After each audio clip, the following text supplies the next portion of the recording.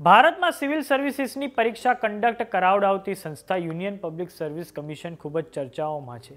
થોડાક સમય પહેલાં તેના ચેરમેન મનોજ સોનીએ ચોથી જુલાઈના રોજ રાજીનામું આપી દીધું હતું અને હવે રાજીનામું રાષ્ટ્રપતિ દ્વારા સ્વીકારાઈ લેવાયું છે.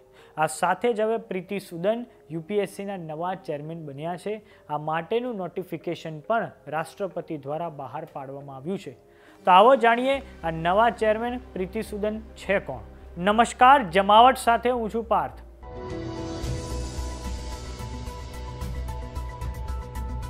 સિવિલ સર્વિસીસની એક્ઝામ કન્ડક્ટ કરાવડાવતી સંસ્થા યુપીએસસી ખૂબ જ વિવાદોનો સામનો કરી રહી છે અને હવે આ માટે મનોજ સોનીએ વ્યક્તિગત કારણોને લઈને રાજીનામું આપી દીધું હતું અને એમના સ્થાને પ્રીતિ સુદન યુપીએસસીના નવા ચેરમેન બન્યા છે. તેઓ પહેલી ઓગસ્ટથી યુપીએસસીના ચેરમેન પદનો કાર્યભાર સંભાળશે. તેઓ ઓગણીસો ત્યાસી બેચના આઈએસ અધિકારી છે. વાત કરીએ પ્રીતિ સુદનની, તો તેઓ આંધ્રપ્રદેશ કેડરના ઓગણીસો ત્યાસીની બેચના આઈએસ ઓફિસર છે. તેમની પાસે લંડન સ્કૂલ ઓફ ઇકોનોમિક્સમાંથી ઇકોનોમિક્સ અને સોશિયલ પોલિસીની ડિગ્રી છે.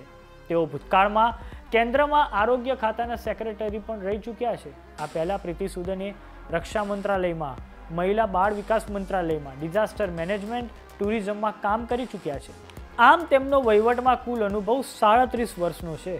તેઓ ભૂતકાળમાં વર્લ્ડ બેંકમાં કન્સલ્ટન્ટ પણ રહી ચૂક્યા છે. પ્રીતિ સુદને ઈ સિગારેટના પ્રતિબંધ, Beti Bachao, Beti Padhao Ayushman Bharat, National Medical Commission પર કાયદો લાવવામાં મુખ્ય ભૂમિકા ભજવેલી છે. પ્રીતિ સુદને એવા સમય યુપીએસસીના ચેરમેન પદે જવાબદારી સ્વીકારી છે જ્યારે આઈએસ પૂજા ખેડકરનો વિવાદ ચાલી રહ્યો છે. જો કે આ મામલે પૂજા ખેડકરની વિરુદ્ધમાં યુપીએસસી દ્વારા એફઆઈઆર નોંધાવવામાં આવી છે. દિલ્હી ક્રાઇમ બ્રાન્ચ આ બાબતે તપાસ પણ કરી રહી છે. હવે જાણીએ બંધારણીય સંસ્થા યુપીએસસીમાં અધ્યક્ષ અને તેના સદસ્યોની નિમણૂક કઈ રીતે થાય છે. તો યુનિયન પબ્લિક સર્વિસ કમિશનમાં નિમણૂકો બંધારણની કલમ ત્રણસો સોળની પેટા કલમ એક અંતર્ગત થાય છે. આ સદસ્યોમાં અડધા સદસ્યોએ કોઈ પણ બીજી લોકસેવા આયોગના મેમ્બર રહી ચૂક્યા હોય છે.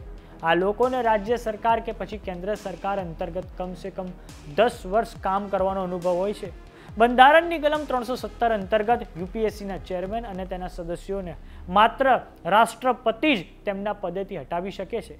આ યુપીએસસીના સદસ્ય તેમના પદ પર છ વર્ષનો કાર્યકાળ અથવા તો પાસઠ વર્ષની ઉંમર સુધી રહી શકે છે. રાજ્યની લોકસેવા આયોગમાં આ વય મર્યાદા બાસઠ વર્ષની હોય છે. તો કેવો લાગ્યો અમારો વીડિયો? અમને કોમેન્ટ બોક્સમાં લખી જરૂર જણાવો. નમસ્કાર.